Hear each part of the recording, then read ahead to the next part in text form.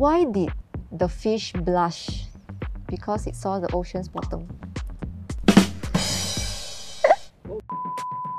Hi, my name is Kelly. I'm 27 this year and I'm an aquarist in S.E.A. Aquarium Resorts World Sentosa.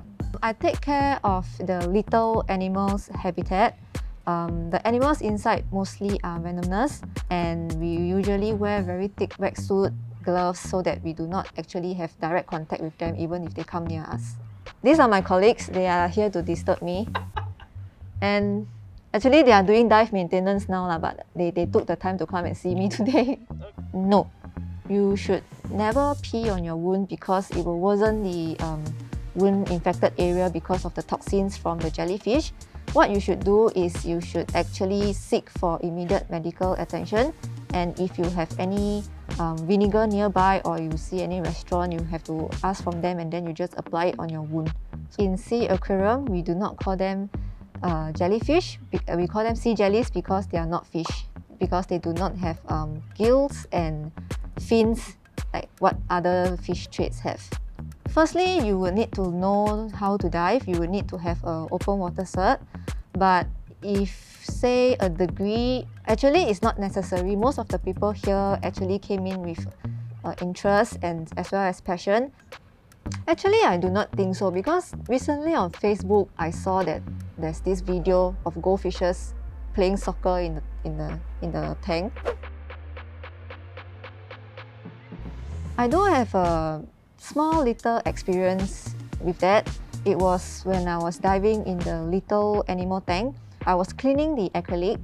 The sea urchin, actually it was like on my left. I decided to change my position so I, I turned and then I felt like, like needles on my thigh. And then after that, when I looked down, I saw that there's, there was a uh, there was a sea urchin on my right. So I got like a bit panicky and shocked and then I immediately came up and asked for medical assistance. Yes, I do eat fishes and my favorite fish would be steamed fishes like steamed grouper.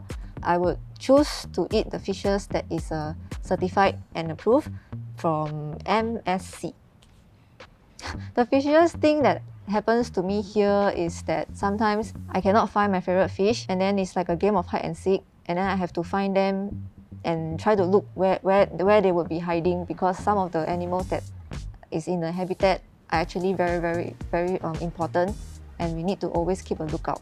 Random snails are actually, they, they are hitchhikers. So they either come from the water source or they come from the fish that you bring the fish home or you actually come from any, the corals or the plants. We, we do have um, random snails as well here because we, we, we have water source from, from outside and from our reservoir. Sometimes uh, the random snails will appear together with the corals or the fish and then they would just multiply in the tank by themselves.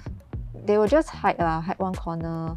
They do not want to eat and then we have to dive into the tank to target target feed them and then to make sure that actually they are they are okay whether or not they have injuries on their on their body and see if they are stressed i think that because they see us every day they are they are not lonely uh, in preparation for the opening of the aquarium one of my colleagues actually placed a mannequin in front of the garden eel habitat so as to let the garden eels get used to the, the guests again. My parents actually don't really like me doing this job initially from the start because they always think that it's a very dangerous job but slowly they accepted that I really love my job because I will always go home and I will tell them that how my day went, like what type of fishes I fed and all the fun stuff that happens at work I share with them. Now they are really quite supportive of my job. So I'm quite happy actually they accepted that I actually like this job. Um, technically, the guests are unable to touch our fishes because we, we, it is separated with an acrylic panel. Uh, we do have a newly enhanced aquarium where there will be a discovery touch pool where the guests are able to touch the um, animals that are safe and under the supervision of the staff. I would say my most favorite thing being an aquarist is to interact with um, marine animals. This is the this is one thing I really like about my job because uh, diving in the tank really helps to relax and you know it's, it's just very very fun. Are you happy to see me?